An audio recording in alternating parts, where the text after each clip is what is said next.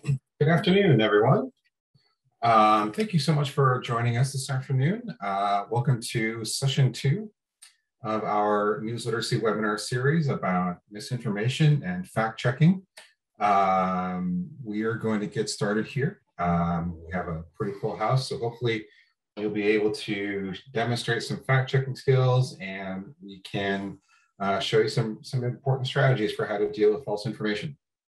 Um, I'd like to, to acknowledge and, and show our gratitude towards the Four River Foundation, whose generosity has been supporting our efforts uh, for news literacy outreach um, for adults and in particular for older adults and have helped us bring this partnership with Senior Planet um, and AARP. My name is John Silva. I am part of the education uh, team at the News Literacy Project. Um, I facilitated the previous session, so if you're new here, this is who I am. Um, my primary focus is on professional learning for educators. Um, and my team works to do, also develop resources for teaching news literacy. Um, I do spend a good deal of my time um, following things that are happening in misinformation and also with conspiracy theories and the things that are going viral and the things that people are sharing so that I can uh, stay up on uh, up to date on things that are happening.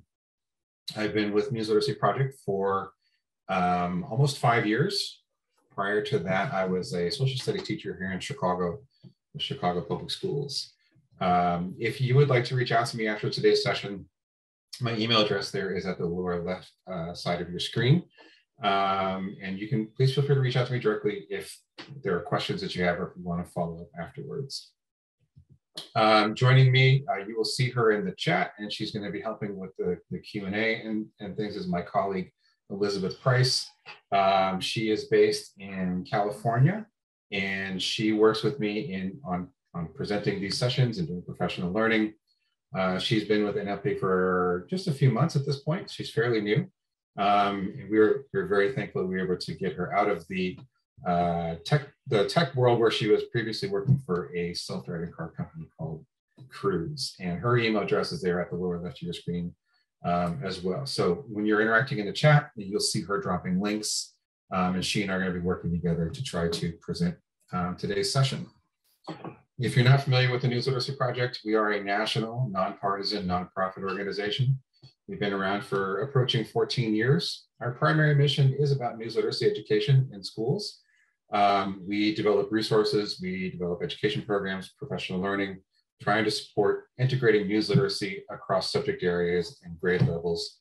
But in the last year to year and a half or so, we have been expanding that um, to try to think about the broader American education experience and how news literacy can be an important component of talking to adults and adult education and just generally um, making people aware of misinformation and the importance of journalism. Um, if you would like to follow us on social media, um, please feel free to give us a follow at Newslit Project on Twitter, Instagram, and Facebook. And if you use the hashtag newsliteracy, we'll, we'll keep an eye out for it and hopefully we can keep, thing, keep the conversation going and we can stay connected after today's session one piece of technical issue for the webinar today. We are using Zoom webinar, which means unfortunately, um, you will not be able to turn the camera on or unmute. Um, so there are two functions here, the chat. If you just want to send your own messages or make a comment um, uh, in the, you can use the chat function. You can send a message to everyone in the webinar or just uh, to Liz and me.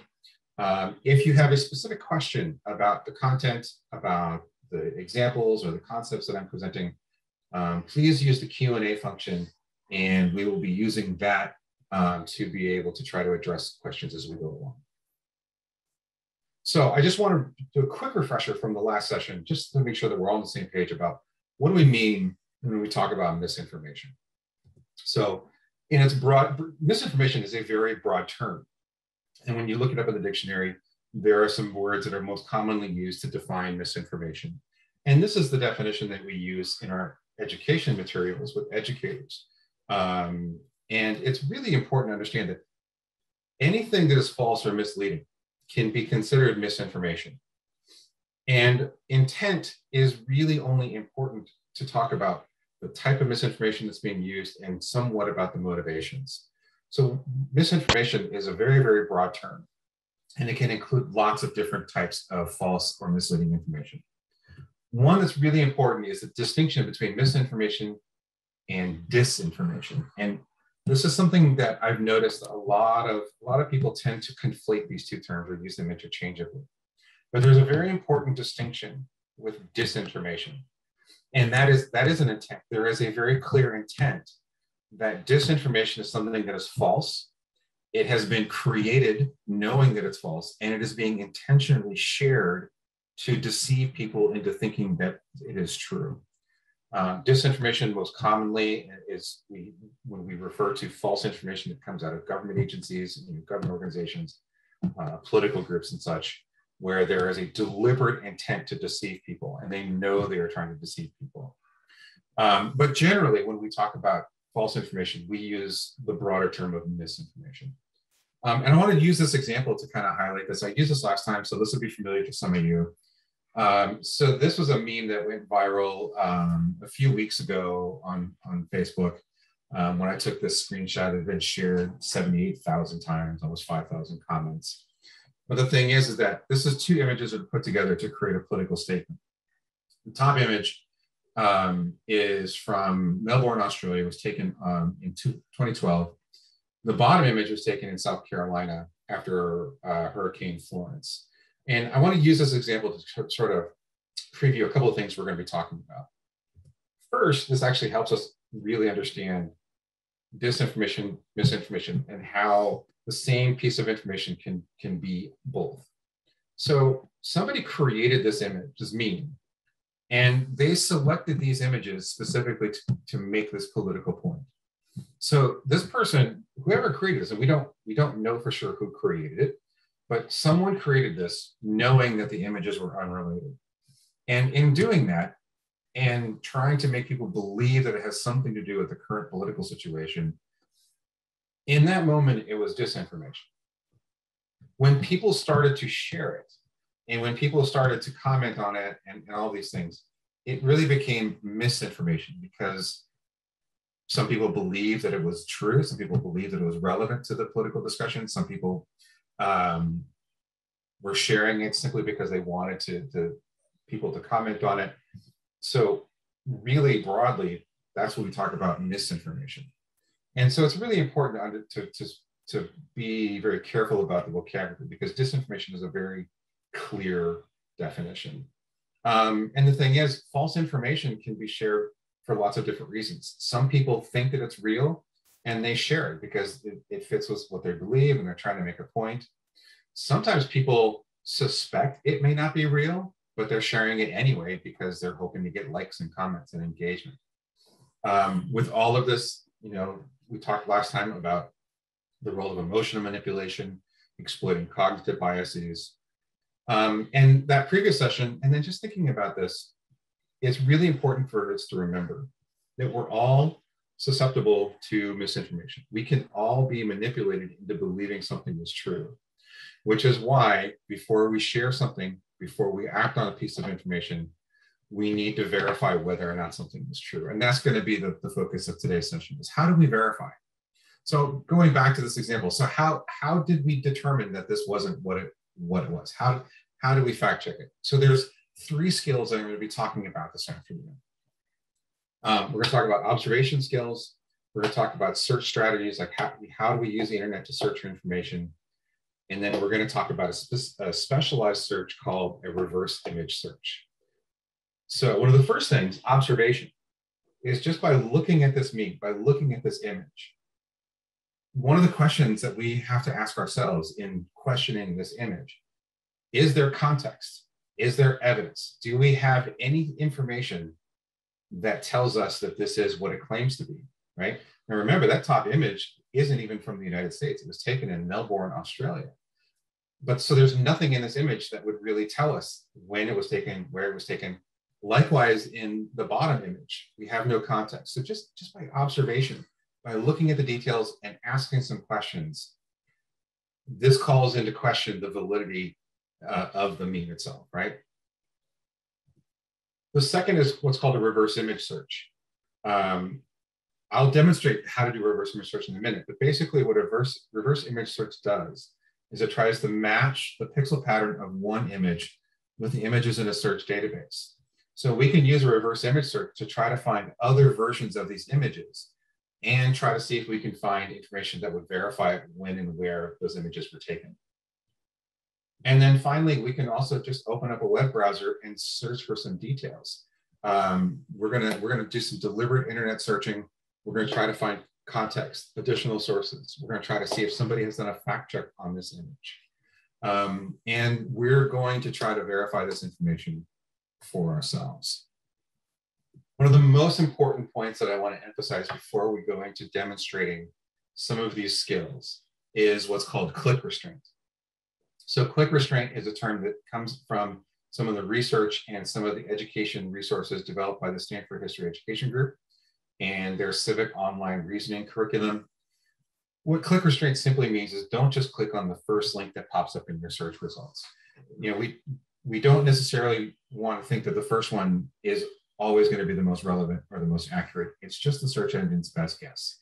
So before we click on, a, on the links, we need to look at the options. We need to see what, what the results are looking at um, and try to remember that this is a deliberate process.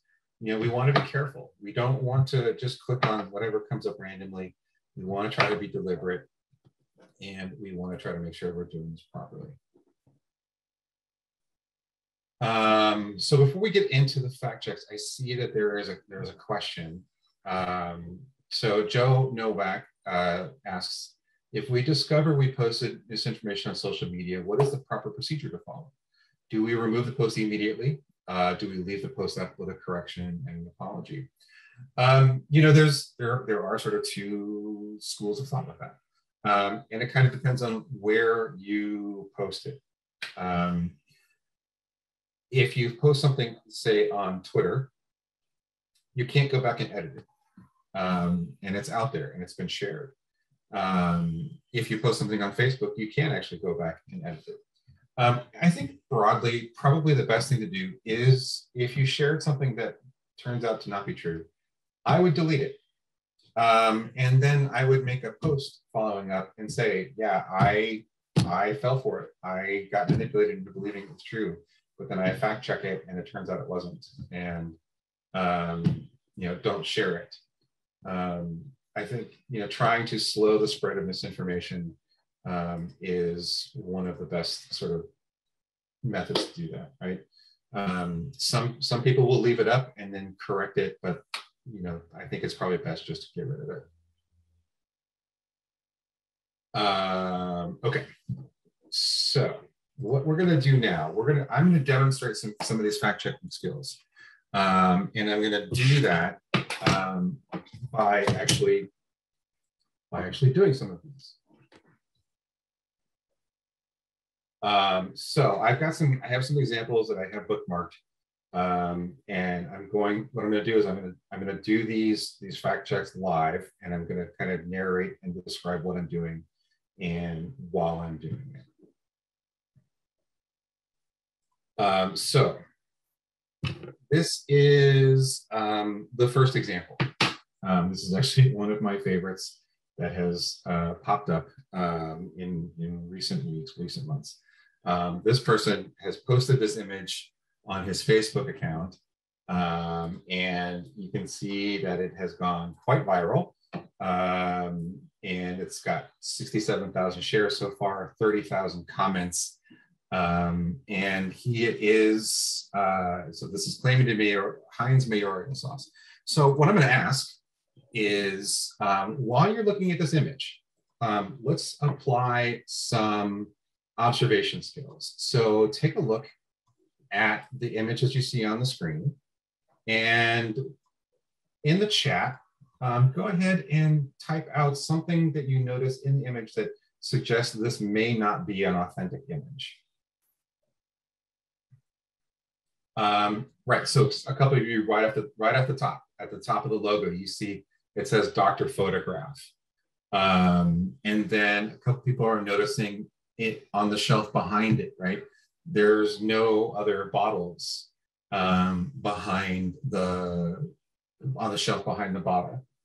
Um, and then, yeah, sort of the color of the logo looks a little off. And um, so that's the thing. So just by observation, right? So one of the things that I might do here um, is to do, so I see where it says Dr. Photograph. So I'm going to do, I'm going to open up a new browser tab and I'm going to type in um, Dr. Photograph, all one word, because that's how it appears on the label.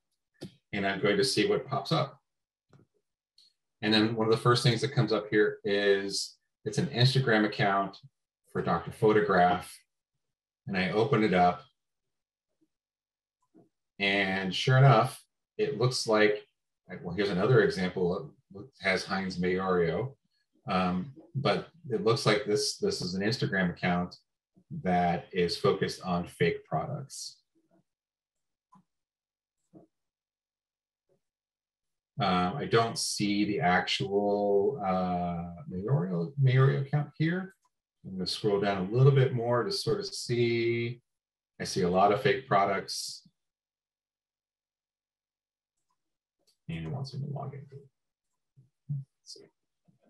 Well, I'm having some difficulty here with that, but if I were to scroll down, I would find that it was from Dr. Photograph. So this is not a real image. This is a Photoshop job, um, but it was posted without the full context, right?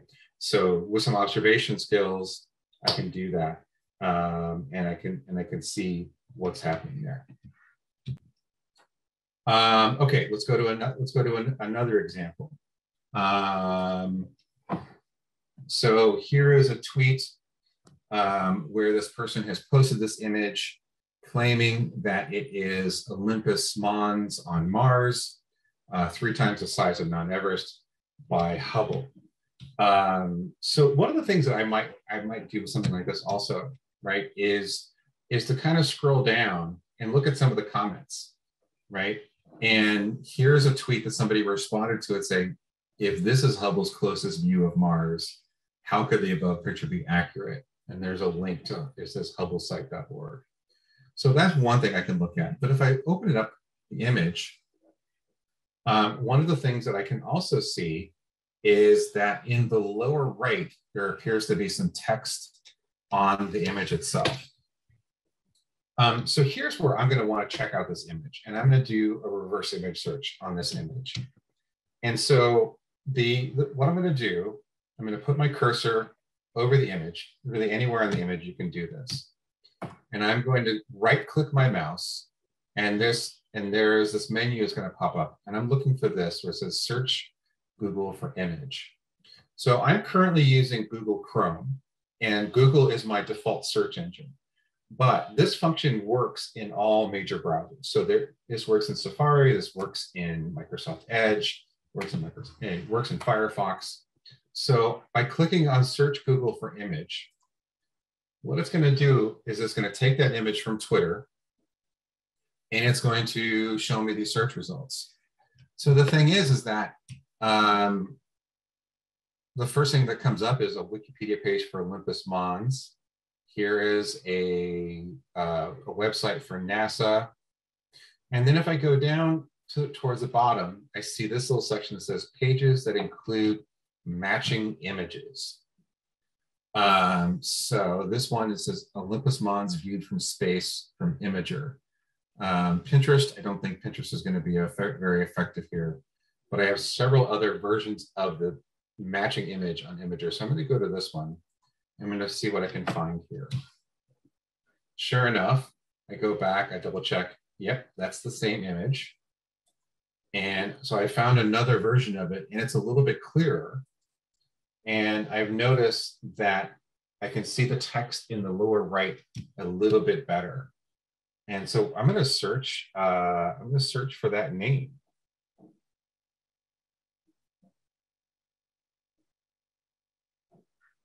And let's see, it's, I'm going to search, let's. So it's Kees. And then I'm going to search for that name. So that's the name that is on the image itself and I find out, so I find this website says all that's interesting. And so I have a couple of things for this person. So one of the search results here says, says he's an animator. Um, and so I'm going to go to here. To take a look at this one, see what it says. These amazing Mars landscapes. And says he's a Dutch, he's a, so it says he's a Dutch artist. Um, his surface, Mars surface renderings are filled with an amazing degree of realism. And so by scrolling down, I can see other examples. So I can go to another one. So I can go to this science photo library, see if this shows anything. Um, and I just see, I just see a bunch of other things. But it seems like that it's not an authentic image of Mars, but it seems like it's some sort of digital creation. Um, so I'm pretty confident at this point that that's not a real photo of Mars. Um, it's a digital illustration. Uh, so I'm just going to pause here to sort of see uh, if there are some additional questions so far. Um, so part of the thing to remember is that these skills kind of all work together. Um, you may not use all of them at the same time, um, but being able to, to sort of check things um, as you're looking at them is really important. Okay, so I'm to close these. Um, all right, let's go to the, our next example. Um, this is another favorite of mine. Uh, somebody posted this. Um, Steve Irwin taking a picture with Mr. Rogers, um, who's wearing a Bob Ross shirt while there is a rainbow in the background. Um, so this is from uh, March of this year, uh, almost 2,400 retweets, almost 300 quote tweets, almost 10,000 likes. Um, I'm going to reverse image search this one.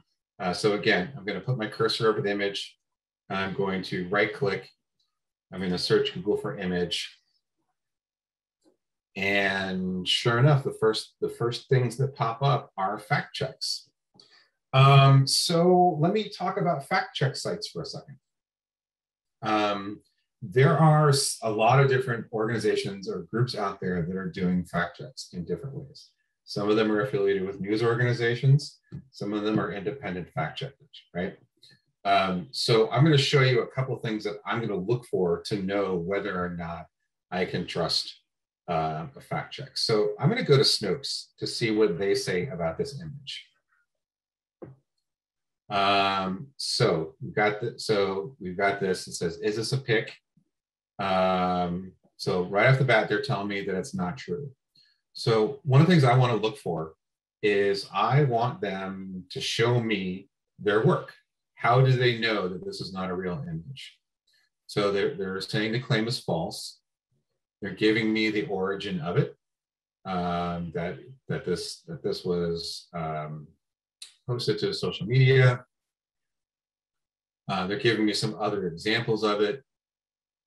Um, and turns out um, they found the original Mr. Rogers image from uh, David's tomato sauce. So they found the original version of the image of Mr. Rogers, and he's not wearing the Bob Ross t-shirt, and he's not posing with Steve Irwin. Um, and if we go further down, we find that they found the original version of the Steve Irwin image um, and so they're showing us the original versions and how those two images were photoshopped together. And so that's one of the most important things that we want to look for in a fact check is that they're not just telling us whether or not something is true or false. They're showing their work. They're telling us how they know. And they're and, and we're able to evaluate it for ourselves. So if I go back to the, the search results, I can go to the fact check from USA Today. Um, also, so came out right around the same time. And so they got the same thing. So we have we have the claim, they're telling us about it. Um, it talks a little bit about how people responded to it. Um, and then they say, yes, it's a it's a it's a composite. It's not authentic. Um, and they, they do the same thing. They tell us where, where the photos came from.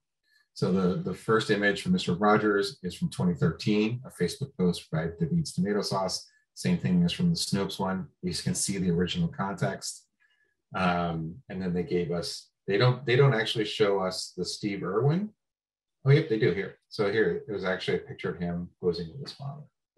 Um, so that's the thing about fact checks um, is that yes, it's easy for them to show tell us whether or not something is true, um, but they need to show their work. And so we don't just take them um, at their um, uh, at at their word. We, we want to make sure they, they show um, their work. So in this, in this, uh, Deborah Wills asks, which, which fact checks are the most reliable? Um, I, I don't really recommend any one over another because some of them will do different kinds of fact checks. Like Snopes, for example, does a lot of fact checks about sort of popular culture. They do some things that are political. They do a lot of things related to like myths and urban legends. Um, but there are some news organizations and, and fact-checking organizations that focus on politics and current events. Um, so Washington Post fact-checking, Reuters fact-checking, USA Today, um, Associated Press has fact-checking. Um, there's also PolitiFact um, and factcheck.org. They're all doing they're all doing great work in in in their in their sort of areas of focus. But again, even if it's coming from an organization that we generally consider to be reputable, we need to look at the individual fact checks and making sure that they're they're transparent. They're telling us how they know, where they got the context from, and how they made um, their um, determinations. Um, so Pat Egan asks, will people invest the time it takes to evaluate each message we receive? Realistically, people often read this info on the fly and will not have the time to verify each message. There are simply too many messages. That's very true. There's no way we could take the time to verify every piece of thing, every piece of information that comes across the screen. When it's most important is if you are going to share it or if you're going to act on it in some way, right? Before you share something, you should you should verify that it's true, especially if you have a especially if there's an inkling that it might not be true because that's the thing is when you share something you're you're putting your credibility on the line with what you're sharing. And if you share something that turns out to not be true that that kind of harms your credibility as as a source of information for the, the people who follow you the people you're connected to. Um, you should you should think about if if you see a piece of information and you're using it in the context of a political decision or some social cause that you're behind, right? If it's some some piece of information that you're going to act on in some way, you should verify it before you do that. And you're right, it's it's not practical to verify everything, but I think it's something that we can get into the habit of doing to verify it before we share, especially if we don't not if we don't necessarily know where it came from. Um, are there electoral fact checkers? Yes, there's a number of organizations out there that are doing fact checking for elections and election related things. A lot of news organizations are doing it. Um, um, let's see. So Carolyn Bass asks, why would the Dutch artist do that, the Mars image?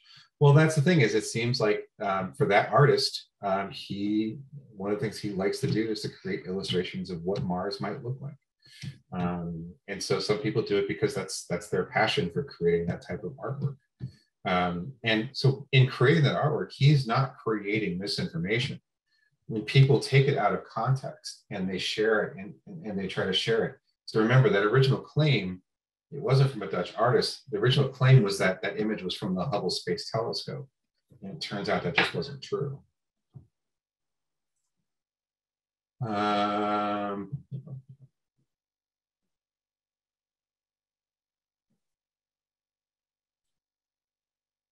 see. Um, so, uh, so Susan asked, um, what type of misinformation is this?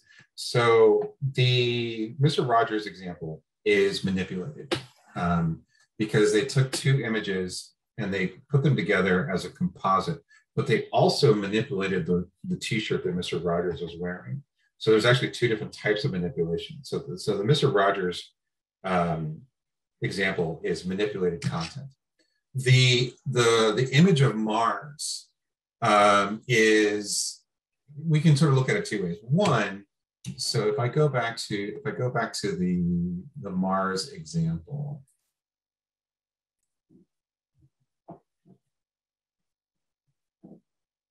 so in this in this example, this is actually false context um, because it's not taken from uh, the Hubble. It's not taken from the Hubble Space Telescope as it claims. It's actually a digital creation from a digital artist. So in this context, we would we, in this we would call this false context misinformation. Now, if the if the artist had created this um, and then put it out saying, "Look at this amazing image from Hubble," it would be um, It would it could we could consider it fabricated content.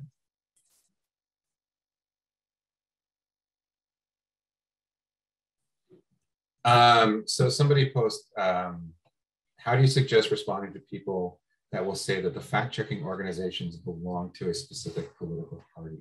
So there is there there is a level of criticism that people can level at fact checking organizations um, because based on the content of their fact checks, it can appear that they are overwhelmingly fact checking one political party over another. Um, what I would sort of push back is and saying is like, what makes you think that they are part of a specific political party? Because when I look at this fact check, I see a something that is false, and based on what I see from this fact check, that this is this is how it's false and why it's false. Right? They're they're not criticizing a politician or political party. They're just simply reporting and saying that this piece of information that was put out was false. Um, you know, it, that kind of gets to the idea of, of active listening and, and, and questioning is, is like, what makes you think that it's, that they're, that it's political? Um, because that's, this is, this is part of what we're going to be talking about in two weeks is like, how do we have these conversations? is to sort of ask that question and then say, here's what here's what I see when I look at this example. Tell me what you see, and look at things together, and you'd be able to um, to do that.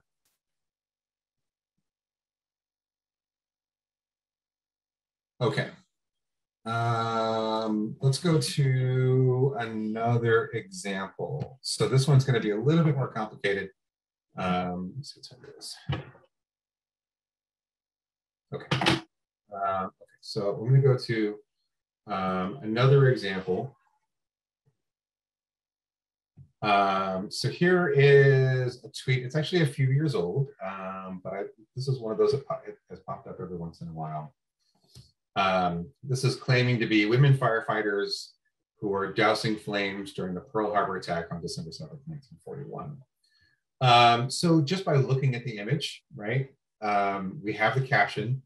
We, we can see, yes, it is women uh, who appear to be fighting using some sort of firefighting hose. Um, they are next to water, so it could potentially be the Pearl Harbor Navy base. We don't, there's nothing in the background that helps us understand that. It's a black and white photo, but that doesn't necessarily mean it's from 1941.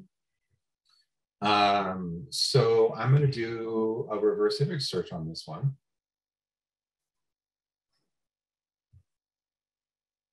Now, again, just like a previous example, the first two things that pop up are, so this is trying to, so the suggestion is Pearl Harbor. I have the Wikipedia page for Pearl Harbor.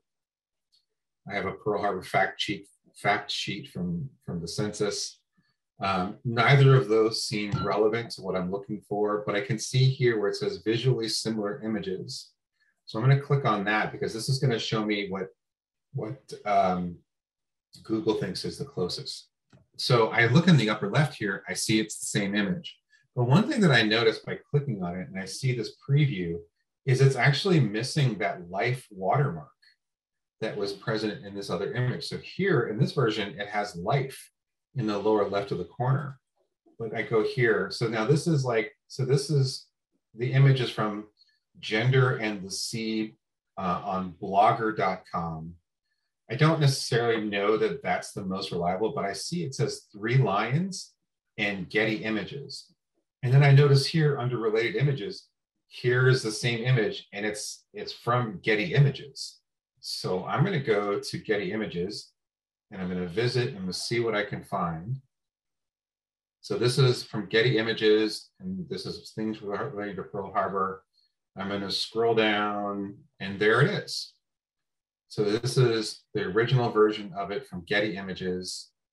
And it turns out this uh, the caption says women firefighters during a training exercise at the Pearl Harbor Naval Shipyard during World War II, circa 1941. And then it tells us the names. And again, this is it says Getty Images, three lions. So it's partially true. Um, so the image is actually women training to be firefighters at Pearl Harbor, um, but it wasn't during the Pearl Harbor attack as the claim was. Um, but that's an important thing to think about is, is how do we look for um, you know, the most reliable sources.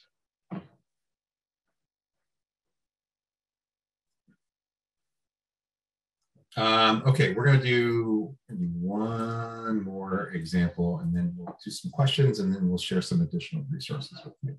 So I'm going to show you one more.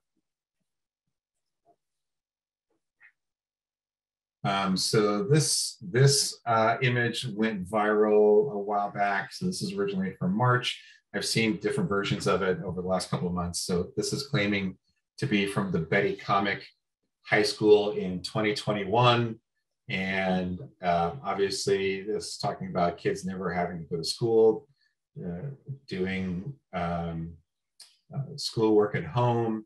And so um, we don't know exactly when this is from, but um, I'm kind of curious, is, is this, this seems to be a little too on point um, how could Betty have really predicted that? So I'm going to open up a new tab and I'm going to just type in Betty in high school 2021. I'm going to do a search.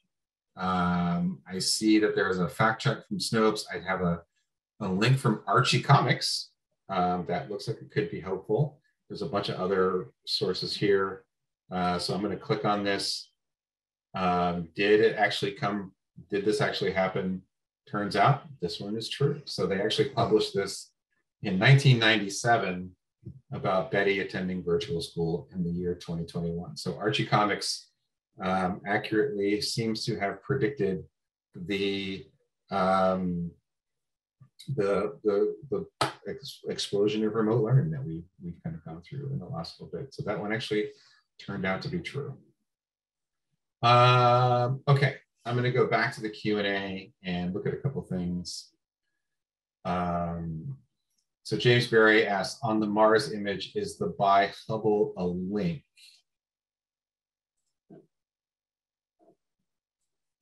Uh, nope, that is not a link. That is just that is just text in in there. Um, if that had been a link, that would have been something important to click on.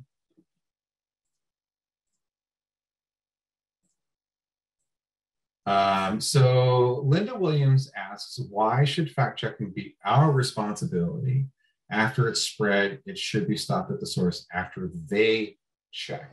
Uh, don't we agree? Um, so Mike Webb, who's my colleague here at the News Project, he is part of the communications team. He's going to type an answer to that. Um, and I'm going to let him, I'm going to let him type that answer and then I'll, then I'll add mine um, when we get done with that. So there's an answer coming to that one, um, Linda. Um, so Summer Doucette asks, uh, it seems to, to me that many people are skeptical of social media posts, even acknowledging it as they post misinformation. The more serious problem uh, seems to me that so many people are lumping all quote media together and saying it's all trustworthy. I have, I have students with no trust in news organizations and their reporting. All I can do is continue to show them how journalists fact check and why they might get it wrong, and especially how they reveal their sources. We'll be discussing this. So I, I, will answer that um, by saying this is this is one of the biggest challenges that we're we're trying to confront is the difference between um, being skeptical and being cynical. Um, there is a great deal of cynicism out there um, when people talk about the media, right? Um, and and this idea that somehow all news organizations are coordinating and collaborating to, to spread information or misinformation. Um, the objective in, in education context of news literacy and, and these skills that we're working on teaching is to try to edge away from cynicism and into skepticism so that we we have an idea of when we can trust something and when we need to verify something for ourselves.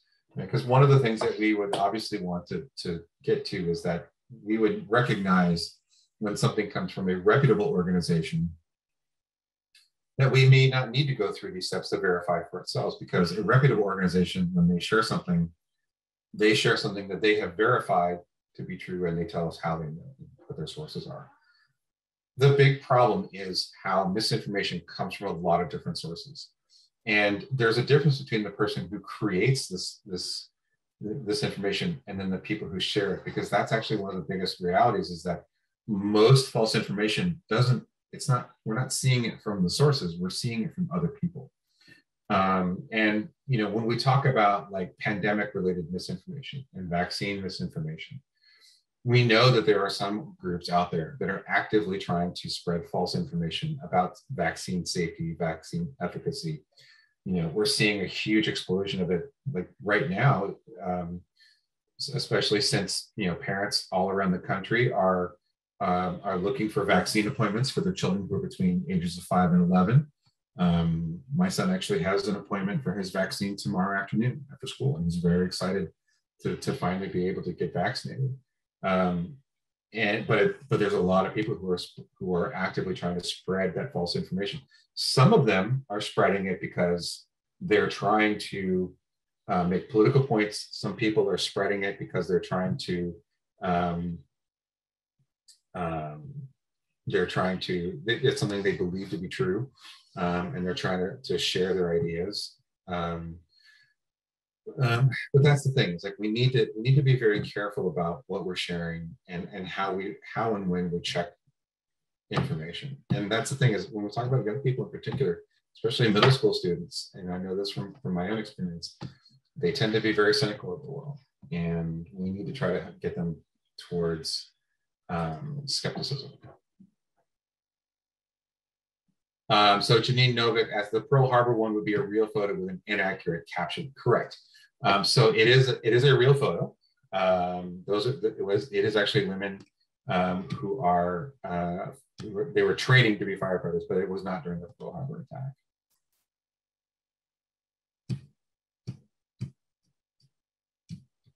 Um, so uh, somebody posted here, I'm seeing a meme posted a lot lately with a recent quote by Glenn Greenwald saying fact checks are fraud. And then the fact checking industry is designed to disguise liberal media activism. I'm stumped about how to deal with that mentality. Do you have any insight about how best to prove the validity of a fact checking organization and to defend the practice in general? So I'm not going to get into Mr. Greenwald and his positions on that. But one of the challenges that we are dealing with is the people who are engaging in confirmation bias. Um, if they see something that aligns with their beliefs, they are likely to accept it, whether or not it's true. And if you and if there's a fact check that that calls that belief into question, then confirmation bias is also going to lead them to just dismiss it. And so this is this is one of the biggest challenges is that people don't like the idea that what they believe may not be true.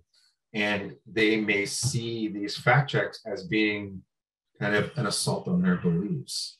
Um, and also when we when we sort of talk about the context of um, you know saying that this is this is you know the fact checking industry and it's their they're trying to push a particular you know political bias that's also that's an example of institutional cynicism uh, this is the idea that there's you know it's, and it's part of we could even say it's edging into conspiracy theory territory in the sense that people believe that these fact checking organizations are somehow trying to manufacture this false information um, and and that's the thing is is when we're talking about belief, it's very difficult for a lot of people to sort of deal with the idea that what they believe may not be true.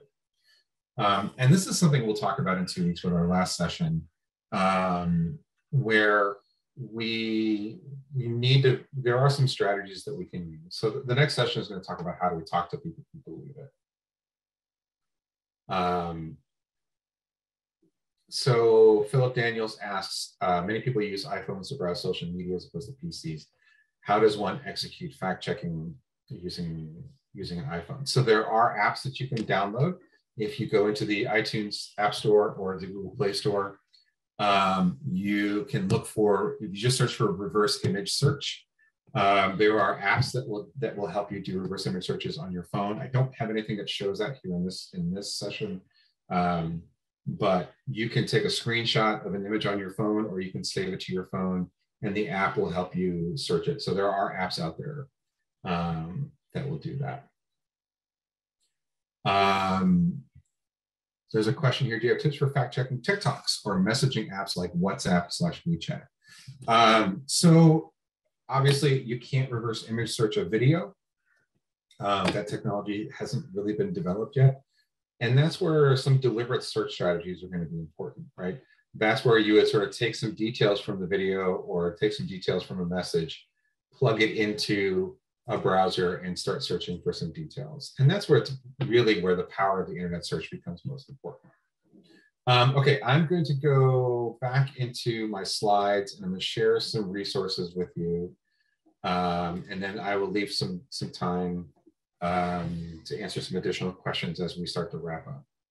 Um, so one of the most important things that I emphasize, in particular when I talk to educators, but this, this applies to everyone, one of the most important education strategies, education tools is and always will be modeling. We need to model these things for everyone else. So we want you to help us in, in, this, in this effort to stand up for facts. Before you share something, make sure that it's make sure that it's accurate and true. Make sure you know the source that it came from. Um, help help spread verified information. And when possible, if, if you see somebody has, has posted something that's not true, try to, to share information to, to debunk it and push back. So we will talk a little bit about debunking strategies next week, um, as well as these what we call productive conversations without confrontation. So this is in two weeks on November 17th at two o'clock Eastern. Um, there is a link here to where if you are not registered for that session, you can register for it. Um, we're going to do some role play uh, with a couple of my colleagues, and we're going to demonstrate some strategies that you can practice um, to try to talk to people who are holding on to false belief, who are insisting something is true when it's not, um, and how to hopefully have a productive conversation in a way that can lead to a better understanding and hopefully maybe even bringing somebody around to realizing their beliefs are not are not true. One resource that um, I definitely want to share with you, um, we have this, it's on our website. It's called Eight Tips to Google Like a Pro. So I showed you a couple of very simple search strategies, um, but there are some other things that you can use if you're going to use a search engine. Um, so if you're a librarian, I hope there are some librarians on board. Um, these are going to be very familiar to a lot of you, especially if, also if you're a researcher. Um, these are th these are things that um, we've been using for a long time. But there are some things that you can do. Um, you can search, um, limiting your search to, to news, right? You can put things in quotation marks to search for an exact phrase. Um, you can use a minus sign to exclude a, a word or a phrase from search engines. So um, this is available on our website at newslit.org. We worked with Cindy Otis. She's a former CIA analyst, and she wrote an amazing book called True or False a CIA analyst guide to spotting fake news. Uh, we've been working with her on some other things. So um, this these ha this has some really great strategies that you can use uh, for doing some deliberate internet searching. Um, on our website, newslit.org um, slash for dash everyone, we have a number of other resources that relate to news literacy more broadly. Um, we have a section that has, has these types of strategies and more. If you want to go deeper into news literacy learning, you can sign up for some, some of our e-learning classes on, on the Checkology Virtual Classroom. Uh, so go to our newslit.org, you can find those resources there. Um, if you'd like to, to sort of know more about what's going on, we have several newsletters that go out each week. One that I would really recommend is called Get Smart About News. Um, this comes out every Tuesday. Uh, my colleagues on the education team, as well as our uh, our friends on our communications team put this out each week. Um, this is, you know, things that are happening that are current trends in misinformation, news literacy, journalism. If you are an educator or you know an educator, the SIFT goes out on Mondays. Um, it's a newsletter specifically for teachers and with things related to news literacy um, activities and things that they can do in the classroom. And then if you just want to know what we're up to at the News Literacy Project and all the things that we have going on, you can sign up for NLP Connections. Comes out every quarter. Um, and you can see all the amazing work, as not just not just the, us on the education team, we have people across organizations doing, doing really cool things. So if you go to newslit.org slash subscribe, you can subscribe to one or more of our newsletters. Um, if you are into podcasts, uh, please consider subscribing to Is That a Fact? Um, this is our podcast. We're in season two. Um, this podcast is geared towards adults and the general public, talking about news literacy and misinformation and journalism. We've had issues on conspiracy theories. We did a special uh, edition of, with the recent anniversary of the September 11th terrorist attacks. Um, you can go to all the major podcasting platforms to find it, or you can go to newslit.org slash podcast. Um, our, my amazing colleague, Darragh Worland, um, is the host of that, and she does, and she does a great job with that. So um, is that a fact? Um, we have an app that you can download onto your phone. Um, it's called Informable. this is a brain training style app. Uh, it is uh, free and it is also advertising free um, where you can learn and practice some basic um, uh, news literacy skills. Um, and then the last thing, um, our primary mission, the thing that we do most of our work on is for classrooms and working with educators. If you are an educator or you know an educator, uh, if you're connected in some way to somebody who's working in the classroom, we would really love to be in touch and work with them. We have a number of resources that are specifically for how to teach this, um, what to do, how to do it in the classroom. So we would love if you could help us get in touch and reach out to, to be able to help the next generation um, be more news literate and less likely to fall for misinformation. Um, so we're going to drop a link in the chat here for a feedback survey. Um, it's a short it's a short survey. We would love to your feedback. We'd love to see how how well we did with this session. Um, and I'm going to go back into to see if there's some additional questions that I can try to get to. Um, let's see. Um, so Joe asked when the video of this presentation will be available. Um, as soon as we're done with today's session, as soon as we're done with recording, um, we will we will download the video. We will make sure it's clean and ready to go, and we will put it up on our YouTube channel. And um, we will make sure that we get those um, get the recording out to you. Um, Susan asks uh, the link to the examples.